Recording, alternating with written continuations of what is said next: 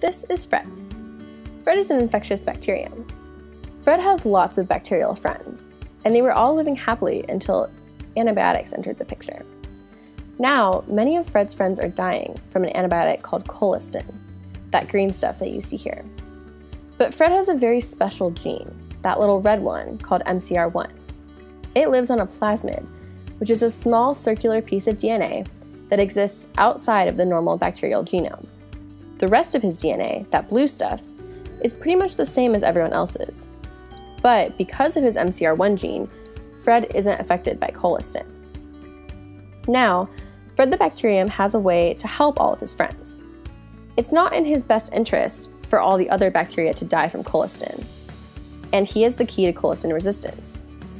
To help his friends, Fred makes a copy of his MCR1 gene and gives it to his friend Johnny.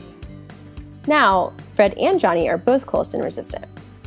Fred can only do this because MCR1 is located on a plasmid, which can be transferred from one bacterium directly to another bacterium in the same generation through a process called conjugation. Now, both Fred and Johnny can keep making copies of their MCR1 genes and give them to all of their friends. In this way, colistin resistance can spread throughout the entire bacterial population. This process of spreading a gene throughout the same generation is called horizontal transmission.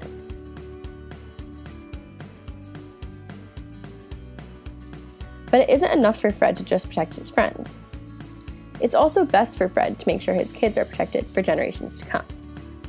Through copying his red plasmid, the plasmid containing MCR1, Fred can begin the process of passing his resistance to future generations as well.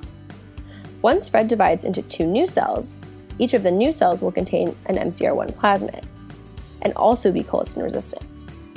This is also true of Steve and Johnny and Rachel and Alexa and George and anyone else that Fred passed resistance to. All of their kids will be colistin resistant too. This process of passing a gene on to future generations is called vertical transmission.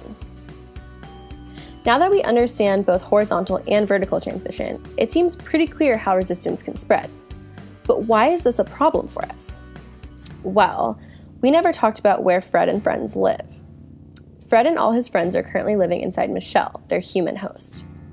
The whole bacterial population is infectious and making Michelle very, very sick.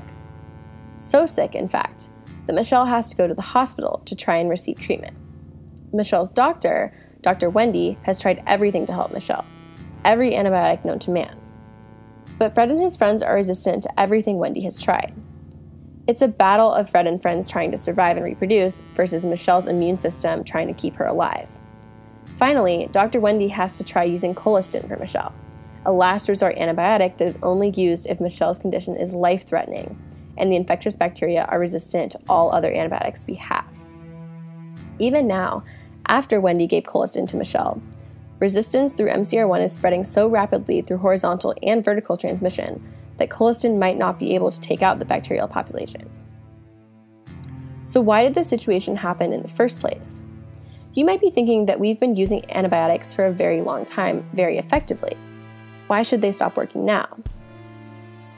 The answer, at least for colistin resistance, is that we have been using antibiotics for a very long time, and we've been using them irresponsibly. Although colistin is a last resort antibiotic in people, it is actually very widely used in agriculture and commonly given to livestock. The evolution of the MCR1 gene was really inevitable, but we figured that the same bacteria don't often infect livestock and people. So it was fine to give colistin to cows, right? Wrong. While we've been pumping our livestock full of colistin, one of our only antibiotics that can protect people against the superbugs of the world, we somehow forgot about horizontal transmission.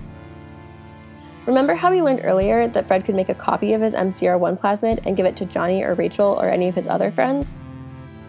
Well, turns out, a bacterium like Fred that was living in livestock and developed colistin resistance could also make a copy of his MCR1 plasmid and give it to other bacterial populations, such as populations that can infect people. That's how we get infectious bacteria with the MCR1 gene, like Fred and his friends in the first place. This seems to be a major oversight. We knew how horizontal transmission worked.